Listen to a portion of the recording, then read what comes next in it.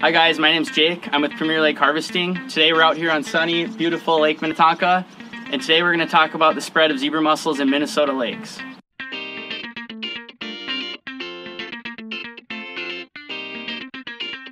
Zebra mussels were first discovered in the Great Lakes in the year 1988, but later confirmed in the Duluth Superior Harbor in 1989. Since then, they have been spreading in the Minnesota lakes rapidly. The DNR and their partners have been doing everything in their power to stop the spread of zebra mussels in Lake Minnetonka and other Minnesota lakes. But I'm going to show you guys why that can be so challenging.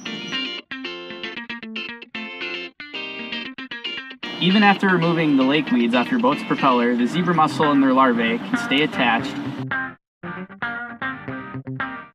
This is a problem because when you bring your boat from lake to lake, the zebra mussels and their larvae can then spread.